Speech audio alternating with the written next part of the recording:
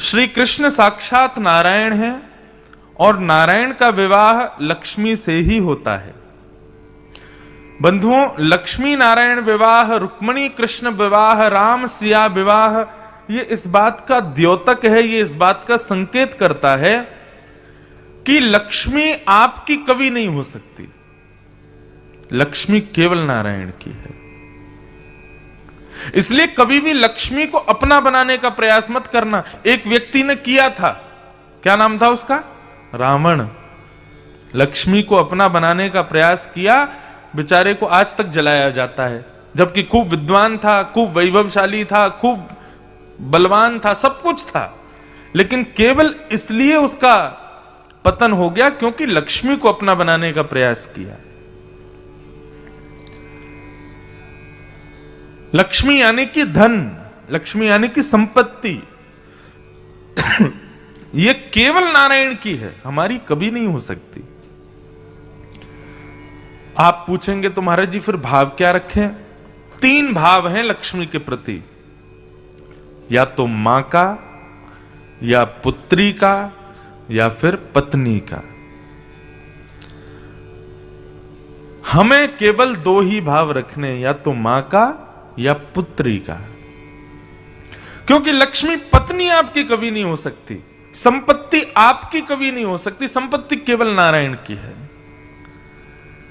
आप संपत्ति को अपनी माँ के रूप में स्वीकार कर सकते हो या अपनी पुत्री के रूप में स्वीकार कर सकते हो, लेकिन संपत्ति को, वैभव को, धन को अपनी पत्नी के रूप में कभी स्वीकार करने की कोशिश भी मत करना। नहीं तो वही हाल होगा जो रावण का हुआ है। उत्तम, मध्यम, अधम तीन प्रकार के धन का व्यय करने वाले लोग होते हैं।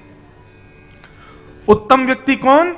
जो धन को अपनी पत्नी जो धन को अपनी, लक्ष्मी को अपनी बेटी माने। मध्यम कौन? जो लक्ष्मी को अपनी माँ माने। और अधम कौन? जो लक्ष्मी को अपनी पत्नी माने। उत्तम व्यक्ति लक्ष्मी को अपनी पुत्री मानता है। और पिता का यह स्वभाव होता है, पुत्री की आयु बढ़ने पर, पुत्री की एक आयु हो जाने पर वो अपनी पुत्री का विवाह कर देता है। उत्तम व्यक्ति जब धन को अपनी पुत्री मानता है तो जब धन बढ़ने लगता है, धन की एक गति आ जाती है, धन लगता है कि हाँ अब हो गया, भरपूर हो गया, अब इसकी आयु हो गई, अब इसका विवाह करना चाहिए, तब वे अपने घर की संपत्ति का विवाह करते हैं। और विवाह लक्ष्मी का किससे होता है? केवल नारायण से। एक प्रकार से हमारे शंकर शर्मा जी ने ये जो कथा कराई है, ये क्या किया है? अपनी घर की लक्ष्मी का नारायण से विवाह किया है। यहाँ पर होने वाला व्यय, यहाँ पर होने वाला खर्चा, यहाँ पर जितना भी धन लगा है ए टू जेड एक रुपए से लेकर के अंत तो जहाँ तक भी लगा है। इतनी लक्ष्मी को इन्होंने अपनी पुत्री माना और उस पुत्री का नारायण के साथ में विवाह कर दिया। अब इनके घर के जमाई हो गए ठाकुर जी। इनकी लक्ष्मी के स्वामी हो गए हैं। अब संबंध तो इनका हो ही गया, हमसे भी हो गया, हमारे पूरे परिकर से हो गया। और हम कौन है? हम वर पक्ष वाले हैं, आप सब लोग वधु पक्ष वाले हो। लक्ष्मी का व्यय करने वाला लक्ष्मी को अपनी पुत्री माने और पुत्री समझ के उसका व्यय करे। पुत्री की आयु होने पर ही उसका विवाह करना चाहिए। छोटी पुत्री हो तो विवाह नहीं करना चाहिए। आयु हो गई तो ये कथा करा लिए, यज्ञ करा लिए, अनुष्ठान करा लिए, ये सब लक्ष्मी का नारायण से विवाह है। तो भगवान कृष्ण का रुक्मणी जी के साथ में विवाह हुआ। दूसरा विवाह ठाकुर जी का जामवंत की बेटी जामवती के साथ में हुआ। तीसरा विवाह ठाकुर जी का सत्राजित यादव की बेटी सत्यभामा से हुआ। अब ये जामवती और सत्यभामा के विवाह प्रसंग को ही सेमंतक उपाख्यान कहते हैं। बहुत सुंदर उपाख्यान है। लेकिन वो कहने चलूँगा तो बहुत लंबा समय लगेगा। सिमंतक मणि एक ठाकुर जी के जीवन में ऐसी आई जिससे भगवान को भी कलंकित होना पड़ा। अनीति का धन, बिना श्रम का धन, वो कलंकित करता है। इसलिए जितना हो सके बिना मेहनत के धन से बचने का प्रयास करो। मेहनत की रूखी रोटी भी अच्छी है, बिना मेहनत के कमाए गए जल को पीने से। अगर बिना श्रम के जल मिल जाए, आपने उसका पान कर लिया, आप पचा नहीं पाएँगे उसको। लेकिन मेहनत करके यदि रूखी रोटी और छिलके की दाल मिल जाए ना तो वह भी आपके लिए श्रेयस्कर है। इसलिए बंधुओं, सदैव याद रखना, अनीति के धन से बचना, बिना श्रम के धन से बचने का प्रयास करना। सिमंतक मणि ऐसी आई ठाकुर जी के जीवन में कि द्वारिका के लोगों ने ठाकुर जी पे ही कलंक लगा दिया। तब भगवान ने पूरी लीला के द्वारा उस कलंक को अपने ऊपर से हटाया और इसी बीच में ठाकुर जी के दो विवाह और हुए, जामवंत की बेटी जामवती और सत्यभामा के साथ में। चौथा विवाह ठाकुर जी का हुआ हमारी वृंदावन की अधिष्ठात्री श्री यमुना महारानी के साथ में। बोलो, श्याम सुंदर श्री यमुने महारानी की जय। इस प्रकार ठाकुर जी के चार विवाह उनका क्रम बताया गया। ठाकुर जी का पांचवा विवाह हुआ आपके ही पड़ोस में, उज्जैन में। किसके साथ? मित्र विंदा इस प्रकार ठाकुर जी के समस्त अष्ट मुख्य विवाह बताए गए।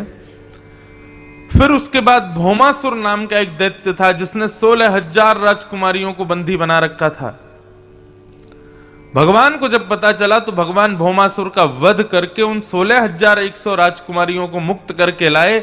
सबने भगवान से प्रार्थना की कि अब हमको परिवार के लोग स्वीकार नहीं करेंगे, हमसे कोई विवाह नहीं करेगा, हम कहा जाएँ, हम पे दो रास्ते हैं, या तो हम मर जाएँ, या फिर हम गलत रास्ते पर चली जाएँ। ठाकुर जी बोले कहीं नहीं, जाना है, तुमको मैं स्वीकार करूँगा। और सोलह हज़ार एक सौ राजकुमारियों के साथ भगवान ने विवाह किया। तो कुल कितने हो गए? सोलह हज़ार एक सौ आठ। अब एक चीज़ बहुत ध्यान से सुनिएगा। सोलह हज़ार एक सौ आठ यह कोई सामान्य कन्या नहीं है, सामान्य स्त्री नहीं है। ये सोलह हज़ार एक सौ आठ कौन है? भगवान की ही बनाई गई प्रकृति को ही भगवान ने अपना पत्नी बनाया। कैसे? सबसे पहले पंच धातु, पृथ्वी, जल, तेज, वायु, आकाश।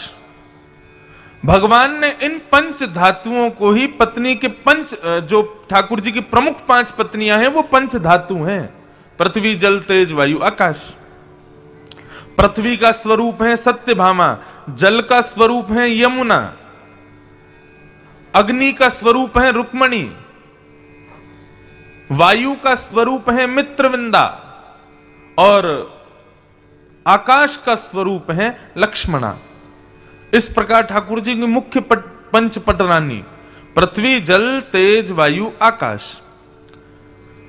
तो पाँच प्रकृति मानव के बाहर होती हैं चार प्रकृति मानव के अंदर होती हैं। कौन कौन सी? मन बुद्धि चित्त और अहंकार। जिसमें से चित्त जो है वो ठाकुर जी का ही स्वरूप है। तो चित्त को हटा दें तो बच्चे तीन, मन, बुद्धि और अहंकार। यहाँ पर अहंकार अभिमान नहीं है। अहंकार मतलब सेल्फ कॉन्शियसनेस ये हमारे भीतर की तीन प्रकृतियाँ और हैं, मन, बुद्धि और अहंकार। तो पाँच प्रकृति, बाहर की तीन प्रकृति, अंदर की कितनी हो गई? आठ। ये भगवान की आठ मुख्य पटरानियाँ हैं। पृथ्वी, जल, तेज, वायु, आकाश, मन, बुद्धि और अहंकार। और सोलह हज़ार एक सौ राजकुमारियाँ जो हैं, ये कौन है? आप लोग ब्राह्मण देवताओं से यज्ञ करवाते हैं, पूजन करवाते हैं तो वे कहते हैं, हाथ में जल लीजिए, अक्षत लीजिए, पुष्प लीजिए, आइए, भगवान कृष्ण को प्रणाम कीजिए, वंशी विभूषित करा नवनीर दावात पीताम्बरा दरुण बिंब फलादरोष्टात, पूर्णेन्दु सुंदर मुखा, दरबिंद नेत्रात, कृष्णात परम किमप तत्व हम न जाने, पुष्प छोड़ दीजिए। इस प्रकार कर्म कांड के सोलह हज़ार एक सौ कृष्ण उपासना के जो मंत्र हैं वो भगवान की सोलह हज़ार एक सौ पत्नियाँ हैं। भगवान ने सामान्य हार्ड मांस के पुतली वाली कन्या से विवाह नहीं किया। पृथ्वी जल तेज वायु आकाश मन बुद्धि अहंकार और सोलह हज़ार एक सौ मंत्रों से ठाकुर जी ने विवाह किया। केवल व्यवहार रूप में दिखाने के लिए उनको स्त्री रूप में स्वीकार किया। नहीं तो ये सब ठाकुर जी की ही प्रकृति है जिससे ठाकुर जी ने विवाह किया। ठाकुर जी के इस प्रकार सोलह हज़ार एक सौ आठ विवाह हुए। प्रणय कलह, राजा नृण की कथा, नारद जी का भगवान की ग्रहचर्या को देखना, भगवान का राजसूय यज्ञ में जाना अग्र पूजा होने पर शिशुपाल को क्रोध आना, भगवान के सुदर्शन चक्र से शिशुपाल का सर धर से अलग होना, ये सब कथाएँ बताई गई। और इन सबको बताते हुए फिर भगवान के एक परम प्रिय मित्र श्री सुदामा जी की कथा आती है। बंधुओं, सुदामा चरित्र में केवल इतना जानो कि भगवान के सखा हैं सुदामा। सुदामा के अंदर ऐसा क्या था जिससे वो ठाकुर जी के सखा बने? तीन गुण। तीन गुण हैं सुदामा जी के। और ये तीन गुण कौन कौन से हैं? कृष्ण स्यासीत सखा कश्चित, ब्राह्मणो ब्रह्म वित्तम विनक्त इंद्रियार्थेशु प्रशांतात्मा जितेंद्रिय आप लोगों को शायद सुनकर के आश्चर्य हो, लेकिन एक बात बताऊँ, भागवत में सुदामा जी का नाम नहीं है। सुदामा शब्द है ही नहीं भागवत में। तो फिर भगवान के मित्र का नाम सुदामा कैसे पड़ा? ये तो भाव जगत के लोगों ने उनका नाम रख दिया। भागवत में तो केवल इतना लिखा है कि एक ब्राह्मण था, बड़ा दीनहीन सा ब्राह्मण, वो भगवान का मित्र था, सखा था, बस इतना लिखा है। सुदामा उसका नाम था, ये कहीं नहीं लिखा। तो फिर सुदामा क्यों कहते हैं? तो सुदामा शब्द का अर्थ क्या होता है? सु यानी कि सुंदर। दामा मतलब जिसके पास धन हो। सुंदर धन से युक्त जो है, उसका नाम है सुदामा। कितना उल्टा नाम रखा लोगों ने। कहा सुदामा जी के घर में बारिश पड़ जाए तो कमर कमर तक पानी भर जाता है। पहनने के लिए कपड़े नहीं है करने के लिए भोजन नहीं है। ऐसे सुदामा जी, उनको लोग सुदामा कैसे कह सकते हैं? तो एक संत ने बड़ी सुंदर इसका उत्तर दिया। बोले कि इनका नाम सुदामा इसलिए रखा गया क्योंकि संसार जिसको धन मानता, धन मानती है ना, संसार जिसको धन के रूप में स्वीकार करता है, वो सुंदर धन नहीं है। क्यों? आज मिला, कल खर्च हो जाएगा। लेकिन सुदामा जी के पास ऐसा धन है, वो कभी खर्च नहीं होता और वो है भगवान के नाम का धन। जितना भी गावे जितना भी बोले, जितना भी बांट दें, वो नाम धन कभी खत्म नहीं होता। इसलिए उनका नाम सुदामा। क्योंकि उनके पास ठाकुर जी का नाम रूपी धन है। सुदामा जी के अंदर तीन गुण हैं, जिसकी वजह से वो ठाकुर जी के सखा हैं। पहला गुण विरक्त इंद्रिय अपनी इंद्रियों से विरक्त हैं। हम लोग इंद्रियों से विरक्त नहीं है इंद्रियों में आसक्त हैं। कैसे आ सकते हैं? जीव को जब जो चाहिए तुरंत देंगे कान को जब जो चाहिए तुरंत देंगे आँखों को जब जो देखना है तुरंत दिखाते हैं। इसलिए हम लोग क्या है? आसक्त हैं अपनी इंद्रियों के लेकिन सुदामा कैसे हैं? विरक्त हैं। यदि उनकी इंद्रिय कोई इच्छा प्रकट करती है तो सुदामा जी और ज़बरदस्ती ऐसे हट पूर्वक बैठ जाते हैं कि तेरी ये इच्छा ही पूरी नहीं करूँगा। जीव कहे कि मुझे झाल मुड़ी खानी है, मुझे चाट खाना है तो सुदामा जी अदबद करके जो है कुछ और खा करके जीव को संतोष देते थे। लेकिन जीव को जो चाहिए वो नहीं देते थे। ये होता है विरक्त इंद्रिय। इंद्रिय की इच्छा के विपरीत वस्तु इंद्रिय को देना। यह सुदामा जी का पहला गुण। सुदामा जी का दूसरा गुण क्या है? कि सुदामा जी प्रशांत हैं, अत्यंत शांत हैं। और सुदामा जी का तीसरा गुण क्या है? जितेंद्रिय। सुदामा जी की प्रत्येक इंद्रिय भगवत भजन करती है। ये तीन गुण सुदामा जी में है, इसलिए ठाकुर जी उनको अपना सखा मानते हैं। पत्नी बार बार बोलती है कि मैंने सुना है तुम्हारे मित्र द्वारिकाधीश हैं तो उनके पास जाते क्यों नहीं हो? तो सुदामा जी कहते हैं, वो मेरा मित्र ज़रूर है, लेकिन मैं उसके पास इसलिए नहीं जाता कि मेरे पतले दुबले शरीर को देख करके, मेरे फटे हुए वस्त्रों को देख करके, मेरे मेरे मुखाकृति को देख करके कहीं ये ना सोचे कि गरीब है, कुछ मांगने आया है। मैं इसलिए उसके पास नहीं जाता। बाकी मैं नित्य अपने हृदय से उसका स्मरण करता हूँ। लेकिन आज पत्नी ने हट पूर्वक सुदामा जी से कहा कि आज तुमको जाना पड़ेगा। अपनी पत्नी के हट के आगे कुछ ना कर पाए और श्री सुदामा जी द्वारिकाधीश से मिलने के लिए द्वारिकापुरी गए। सात दिन तक चलते चलते चलते चलते सुदामा जी ने एक जगह जाके पूछा, भैया, ये द्वारिकापुरी कितनी दूर है? तो किसी ने हंस के बताया, बोले, द्वारिकापुरी का रास्ता तो आप कम से कम साठ किलोमीटर पीछे छोड़ के आ गए हो। वहाँ से भी कम से कम सौ किलोमीटर द्वारिका है। कब तक चलते रहोगे महाराज? सुदामा जी परम उदास हो गए। बोले, क्या करें लाला? वैसे तो तू हमारे हृदय में रहे, लेकिन नगरी तेरी बड़ी दूर है। फिर भी श्री सुदामा जी महाराज एक नदी के किनारे हाथ की तकिया लगा करके सो गए और बोले, हे लाला मैं तो तेरे पास आवे में सामर्थ्यवान ना हूँ, लेकिन तोकू यदि मुझसे मिलना हो तो तू यहीं आ जाइयो। और ऐसा कह के सुदामा जी जैसे सोए, थोड़ी देर में नेत्र खोल करके देखा तो जय श्री कृष्ण नाम की ध्वनि हो रही है। चारों ओर स्वर्ण के आकार के बने हुए भवन दिखाई दे रहे हैं। सबके मुखमंडल पर जय द्वारिकाधीश जय श्री कृष्ण सुनाई दे रहा है। सुदामा जी ने सबसे पूछा, भैया, ये कौन सी नगरी है? मैं सोया तो कहीं नदी के किनारे था, लेकिन मैं यहाँ कैसे आ गया? किसी ने बताया, बोले, महाराज, ये ये द्वारिकापुरी है द्वारिकाधीश की नगरी है। सुदामा जी नृत्य करने लगे, आनंदित हो गए। सबको जा जा करके बताते हैं, तुमको पता है ये द्वारिकाधीश जो है ये मेरे मित्र हैं, मेरे सखा हैं, हम दोनों उज्जैन में साथ में पढ़े सांदीपनी गुरुकुल में। अब लोग बाग बड़े उल्टे सीधे भजन गाते हैं। सुदामा जी को ऐसा दिखा देते हैं कि द्वारपालों ने धक्का दे दिया, द्वारिका के लोगों ने सुदामा जी को अंदर नहीं आने दिया। यदि भगवान के द्वारपाल इतनी कुनीति करेंगे तो फिर वो भगवान के द्वारपाल नहीं कहलाएँगे।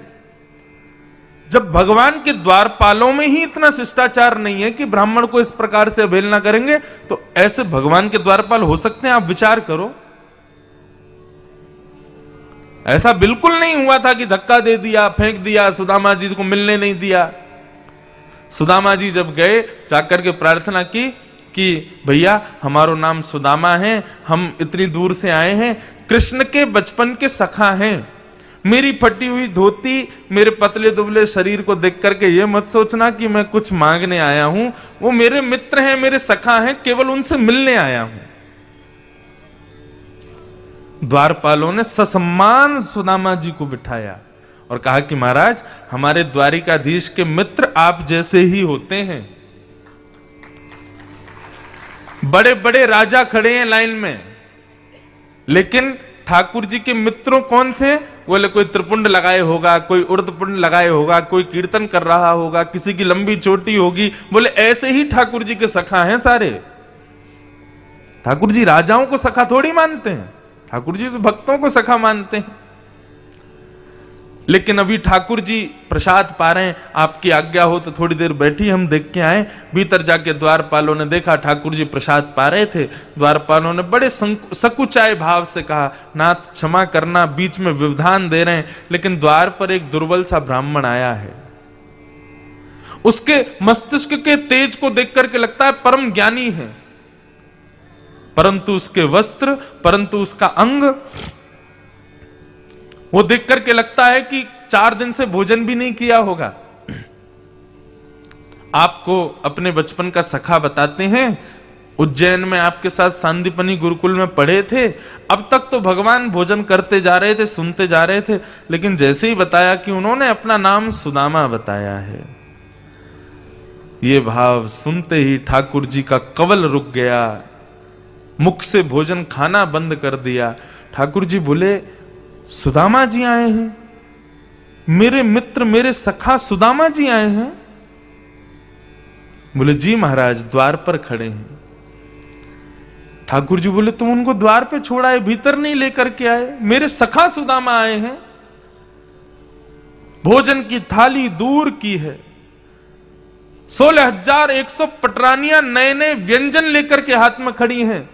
बड़े बड़े महामंत्री कुबेर आदि देवता आकाश में खड़े हैं ठाकुर जी के हाथ दुलाने को, ठाकुर जी को जल पिलाने को, ठाकुर जी की सेवा करने को। सबको छोड़ करके जगन्नाथ दौड़े हैं अपने मित्र से मिलने के लिए। मुकुट कहीं गिरा है। गले की मालाएँ टूट टूट करके गिर रही हैं। महामंत्री, सेनापति, रुक्मणी, जामवती, सत्यभामा, यमुना सब दौड़ रही हैं। और ठाकुर जी सबसे आगे आगे दौड़ रहे हैं कि मेरा मित्र, मेरा सका सुदामा आया है। दौड़ करके मुख्य द्वार पर जाकर के जैसे सुदामा को देखा, मानो ठाकुर जी ने इतनी ज़ोर से अपने हृदय से लगाया कि बस थोड़ी देर अगर ठाकुर जी नहीं छोड़ते तो सुदामा जी ठाकुर जी में विलीन हो जाते। नेत्रों से झरझर के आँसू बह रहे हैं ठाकुर जी के।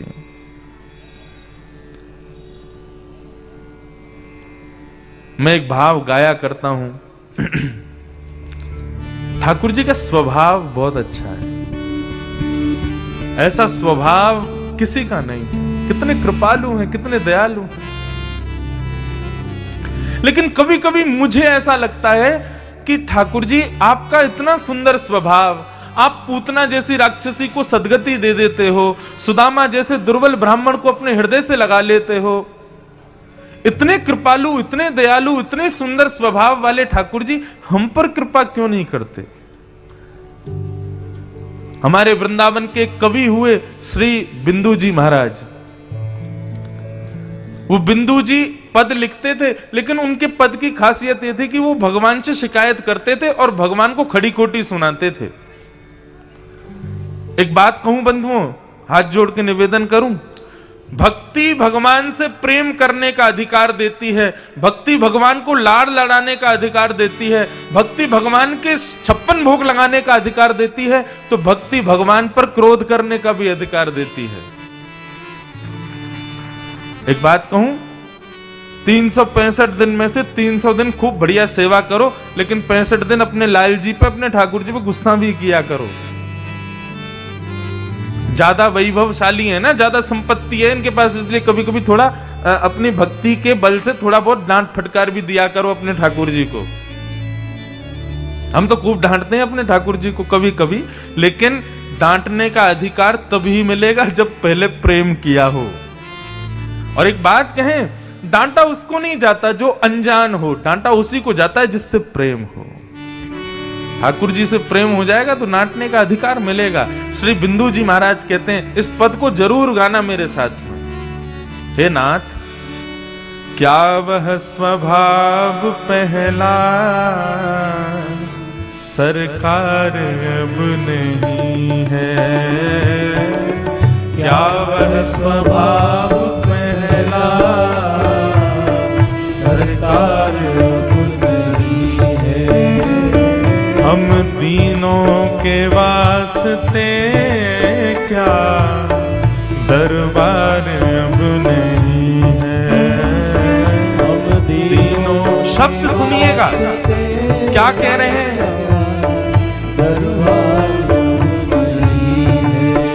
ओ हम दीनों के वास्ते क्या दरबार अब नहीं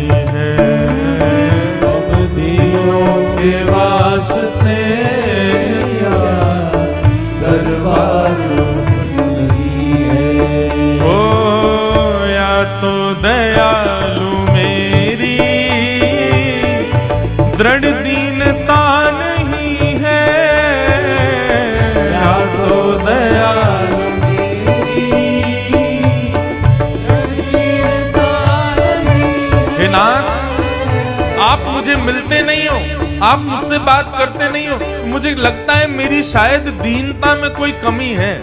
मेरी भक्ति में कोई कमी है।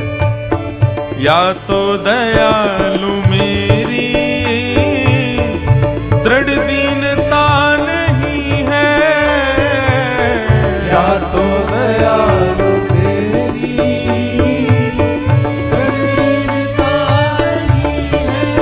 या फिर या दीनों की तुम्हें ही दरकार अब नहीं है। या दीनों की तुम्हें ही दरकार बिंदु जी महाराज, पहले तो खुद को कोसते हैं। मेरी दीनता में कोई कमी है। लेकिन फिर बाद में बिंदु जी कहते हैं, ना मेरी दीनता में कोई कमी नहीं है मेरी भक्ति में कोई कमी नहीं है। वास्तविकता तो यह है कि आपको दीनों की ज़रूरत ही नहीं है। ये शिकायत है ठाकुर जी से? या दीनों की तुम्हें ही दरकार अब नहीं है। या दीनों की तुम्हें ही दरकार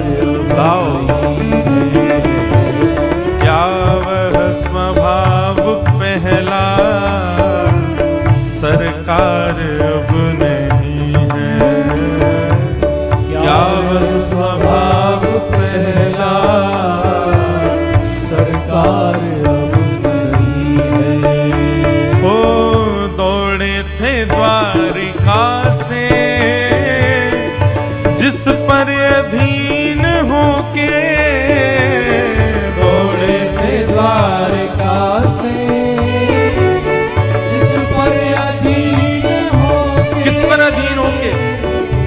भरी सभा में जब द्रौपदी को निर्वस्त्र कर किया जा रहा था, दुशासन द्रौपदी की साड़ी खींच रहा था, द्रौपदी सोच रही थी, ये पाँच पति हैं मेरे, दुनिया के एक पति होते हैं, मेरे पाँच पति हैं। रक्षा करेंगे मेरी। पाँचों की ओर देखा तो नीचे नज़र करके बैठे थे। जब पाँचों से मदद नहीं मिली, तब द्रौपदी बोली, भीष्म, पितामह, कृपाचार्य, द्रोणाचार्य, ये सब मेरी रक्षा करेंगे। लेकिन बुज़ुर्गों ने भी कोई रक्षा नहीं की। तब द्रौपदी अपना बल लगाती है, मैं क्षत्रिय नारी हूँ, मैं निर्वस्त्र नहीं हो पाऊँगी इतनी जल्दी। लेकिन दुशासन तब भी खींचने लगा, जब अंत में कोई काम नहीं आया, तब दोनों भुजा उठा करके द्वारिकाधीश को पुकारा। हे द्वारिकाधीश, रक्षमाम! हे जगन्नाथ, रक्षमाम! मेरी रक्षा करो! भरी सभा में तुम्हारी बहन को निर्वस्त्र किया जा रहा है, द्वारिकाधीश। मेरी लाज नहीं जाएगी। कल को कोई पूछेगा, कौन निर्वस्त्र हुआ था? सब कहेंगे, कृष्ण की बहन निर्वस्त्र हुई थी। मेरी रक्षा करो। तब दुशासन की भुजा थकित भई, वशन रूप भय श्याम। ठाकुर जी वस्त्र बनकर के प्रकट हो गए और दुशासन खींचते खींचते हार गया, लेकिन द्रौपदी को निर्वस्त नहीं कर पाया। आपने उसकी लाज बचाई, हमारी कब बचाओगे नाथ? दौड़े थे द्वारिका से, जिस पर अधीन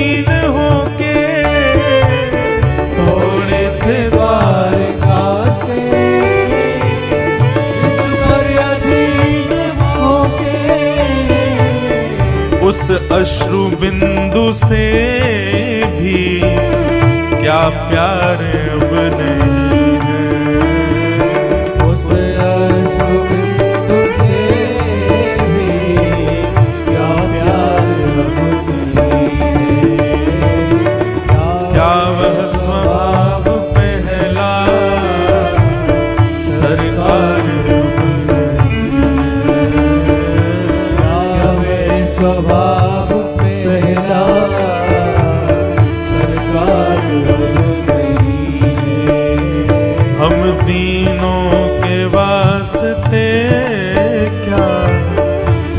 दरबार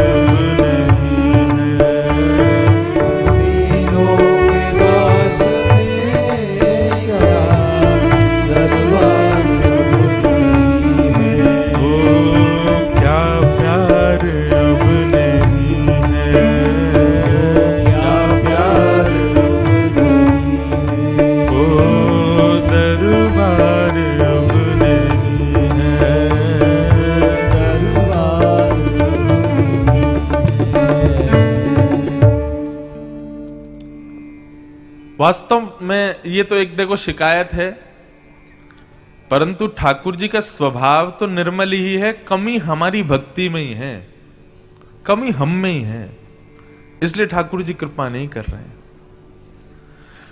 लेकिन एक बात कहूँ, ये कथा सुन रहे हैं, उनको याद कर रहे हैं, उनके भाव में रो रहे हैं, उनकी सेवा कर रहे हैं, ये कोई कृपा से कम है? दुनिया में कितने लोग हैं, लेकिन सब कथा नहीं सुनते सब ठाकुर जी के प्रेम में उन्मुक्त नहीं होते, सबको ठाकुर जी की सेवा नहीं मिलती। हमें ये प्राप्त है, ये कम है क्या? सुदामा जी को लाकर के द्वारिका के सिंहासन पर बिठाए दिया ठाकुर जी ने। देख सुदामा की दीन दशा, करुणा करके करुणा निधि रोए। पानी परात को हाथ छुयो नहीं नैनन के जल सो पग धोए। सुदामा जी की दीन दशा देख करके सुदा ठाकुर जी को इतना रुदन हुआ। उस रुदन के कारण ही ठाकुर जी ने सुदामा जी के चरण प्रक्षालन किए।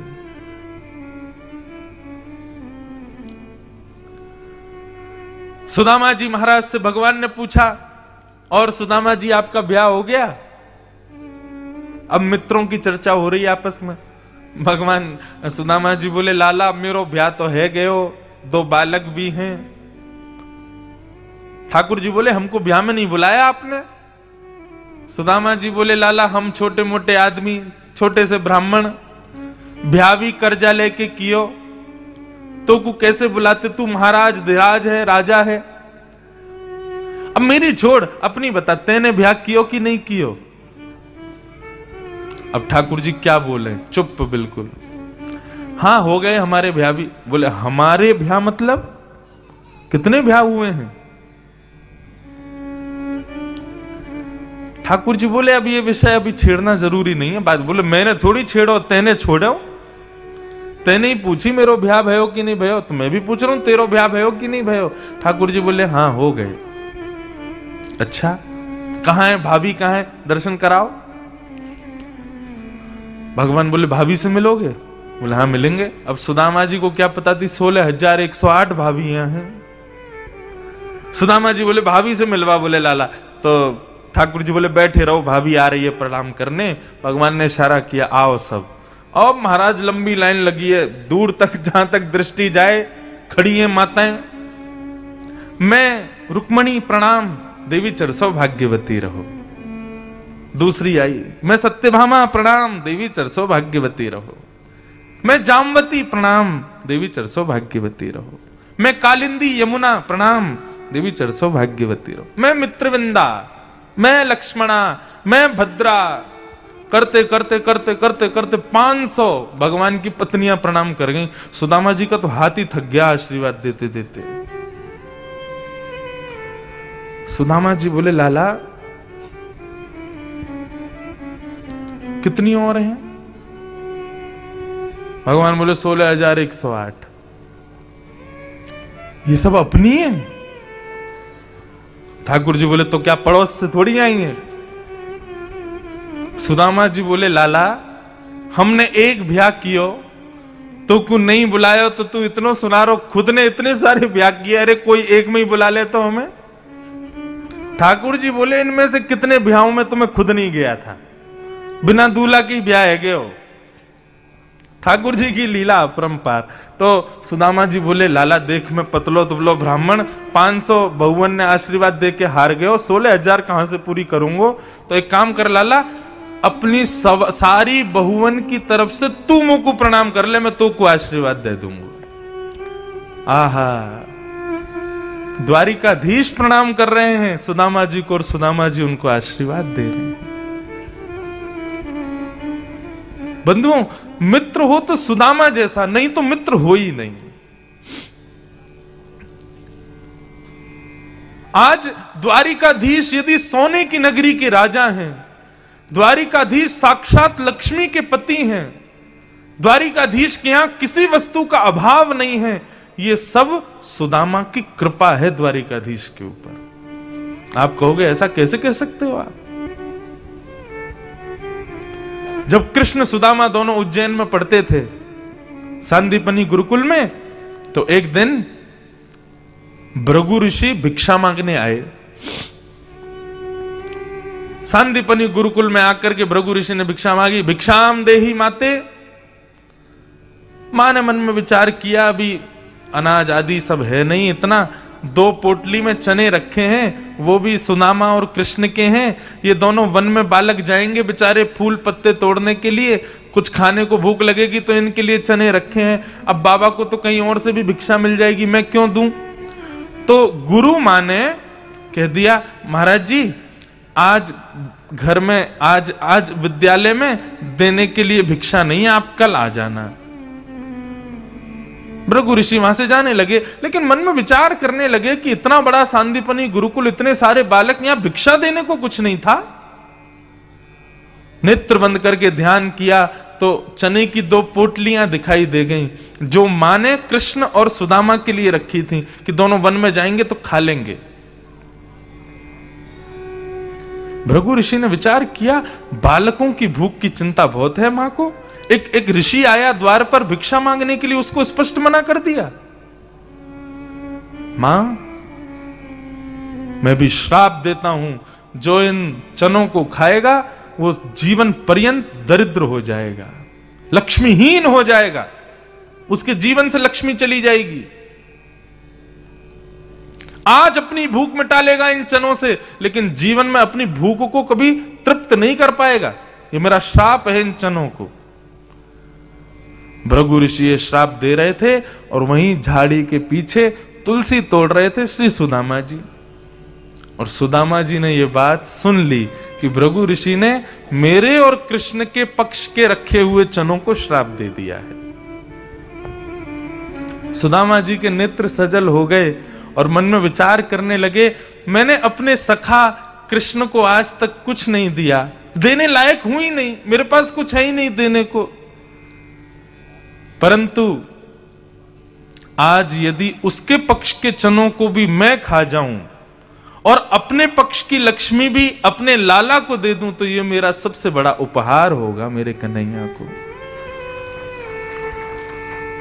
और जब गए वन में कृष्ण और सुदामा, माँ ने दे करके भेजे तो पोटली, भाई जब भूख लगे दोनों को खा लेना दोनों पत्ते तोड़ रहे थे, वृक्ष की टहनियों से कुछ लकड़ियाँ तोड़ के ले जाने के लिए तैयारी कर रहे थे। ठाकुर जी बोले, सुदामा, बड़ी ज़ोर की भूख लगी है, चलो दोनों वो चने रखे, गुरु माँ ने खाएँगे। सुदामा जी बोले हाँ थोड़ी देर में खाते हैं। सुदामा जी तो बहाना ढूंढ रहे थे, कहीं भी ऐसा बहाना मिले तो मैं ही खा जाऊँ सारे। इसको देना ना पड़े, मेरा लाला दरिद्र हो जाए, मेरा लाला लक्ष्मीहीन हो जाए, जानते हुए भी मैं ऐसा कभी नहीं कर सकता अपने सखा के साथ। ठाकुर जी वृक्ष पर चढ़ने में बड़े कम निपुण हैं सुदामा जी बड़े अच्छे हैं। दो मिनट में चढ़ जाते हैं। तो एक लंबा वृक्ष देख करके सुदामा जी दौड़ करके उस पर चढ़ गए और ठाकुर जी से बोले, लाला आजा बोले, अरे सुदामा, तुमको पता है, मैं चढ़वे में इतना बढ़िया नाऊ धीरे धीरे चढ़ने लगे ठाकुर जी इतने में सुदामा जी ने पोटली खोली, चना खाने लगे, अपने पक्ष के खा गए। ठाकुर जी के पक्ष की पोटली खोल करके जैसे ही खाना शुरू किया ठाकुर जी बोले, अरे रुक जाओ, मैं आ रहा हूँ, मुझे भी भूख लगी है, मैं भी पाऊँगा। लेकिन सुदामा जी के नेत्र सजल हो गए।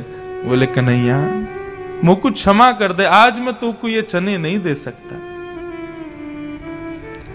ठाकुर जी बोले, सुदामा जी, मुझको भूख लगी है, मत खाओ आप।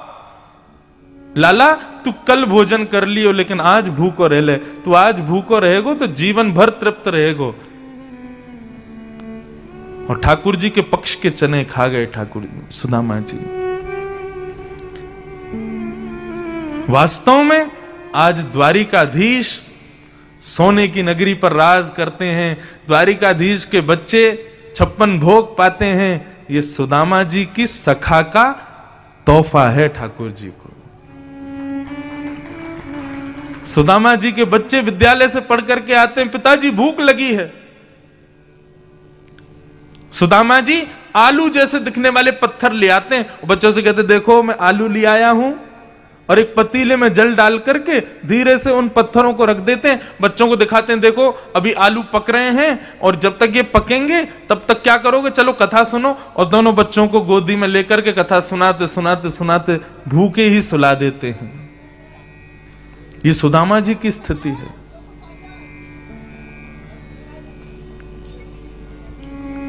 सखा हो तो सुदामा जैसा, ना तो ना हो। भगवान ने बड़ी कृपा की। सुदामा जी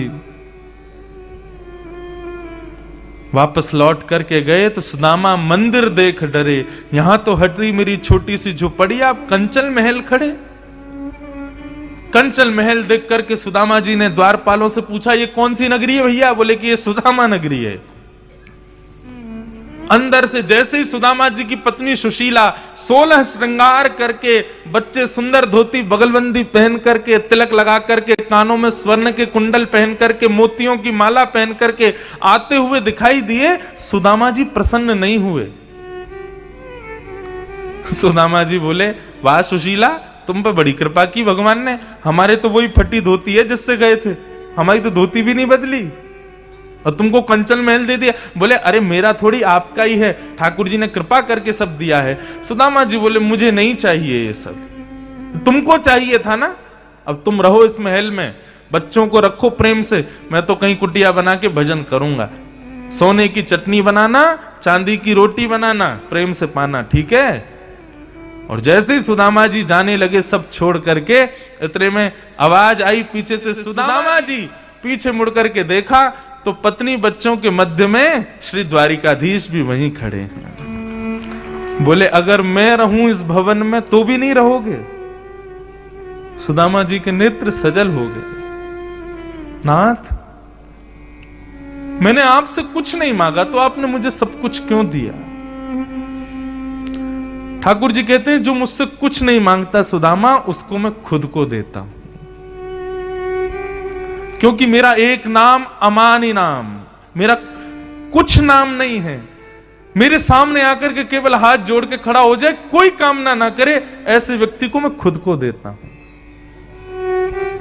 सुदामा, मैंने ये संपत्ति नहीं दी है, मैंने ये भवन नहीं दिया है, मैंने खुद को तुम्हें दिया है। आ धन्य है सुदामा जी की भक्ति। ठाकुर जी प्राप्त हो गए। ऐसे भगवान के सखा सुदामा को हम बारंबार प्रणाम करते भगवान से कभी कोई कामना मत करो, नाथ। बस नाथ हमें मिल जाए और कुछ नहीं चाहिए। उनकी कृपा हम पर हो जाए, वे हमें स्वीकार कर लें बस, और कोई कामना नहीं।